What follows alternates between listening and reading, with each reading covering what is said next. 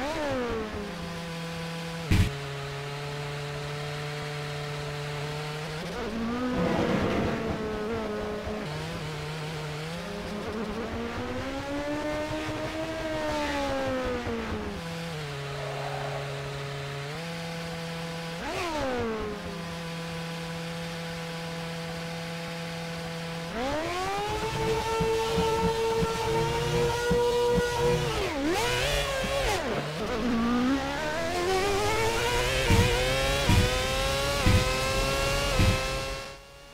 Et bien après ce départ tonitruant, bienvenue les amis dans le troisième épisode de Track Day. Et aujourd'hui un épisode spécial Formule 1 puisque vous le voyez nous sommes à bord euh, d'une Williams. Euh, Track Day qui va changer un tout petit peu de formule. J'ai entendu que bon nombre d'entre vous se plaignaient de mon absence dans cette série. Et bien je vais tout simplement euh, être présent un petit peu dans les vidéos euh, de Track Day, dans celle-ci et la suivante, puisque vous aurez à chaque fois deux numéros par jour de sortie de cette série Track Day. Et ainsi, euh, je pourrai euh, eh bien, euh, vous faire plaisir en vous sollicitant ma voix magnifique alors euh, de cette série, voilà. Donc euh, je vais à chaque fois laisser un petit moment de blanc, vous expliquer un petit peu la voiture, le mode et les choses à savoir sur ce que je vous présente. Et ensuite, comme euh, dans les premiers épisodes, je vais vous laisser profiter du mode, du son et des replays.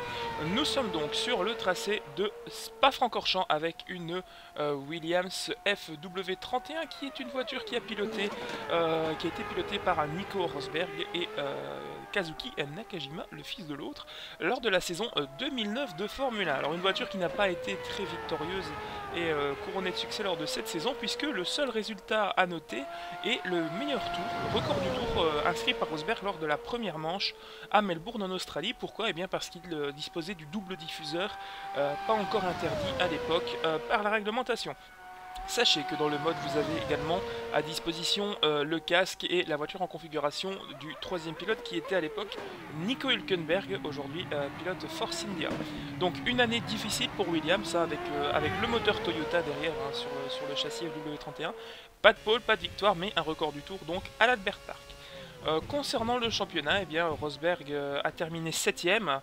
par contre, Nakajima a terminé 20ème. Donc il y avait vraiment un souci de performance de la part de, Kazuki. Euh, au niveau des constructeurs, Williams a terminé 7ème. Ce qui est euh, pas très très bon hein, quand on sait que les 10 premiers seulement euh, récupèrent les cotisations de la FIA pour la saison et les droits de télé. Tout ça malgré 11 arrivées dans les points. Donc voilà, Rosberg qui a eu une saison difficile avec Williams. Euh, C'était euh, la première année de la nouvelle réglementation de la F1 avec les plus grands ailerons avant, arrière, euh, tout ce qui était KERS, etc.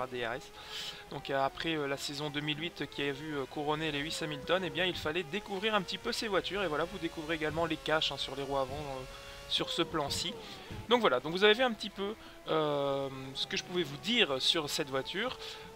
Voilà, maintenant je vais vous laisser profiter du mode qui est très bien réalisé, qui est en version 0.8 et euh, qui vaut je pense vraiment le coup dans sa physique. euh, puisque euh, la voiture est très difficile à piloter sans assistance. Sachez que pour tourner cette vidéo, j'ai dû utiliser l'assistance à la stabilité et pas d'ABS, vous allez le voir dans certains virages, et pas d'anti-patinage. Mais voilà, ça demande une répartition des freins aussi durant, le, durant les tours, durant l'évolution du tour. Ah, on est allé un peu large à la sortie du pif-paf. Donc voilà, donc je vous laisse profiter de ce mode. Bonne vidéo les amis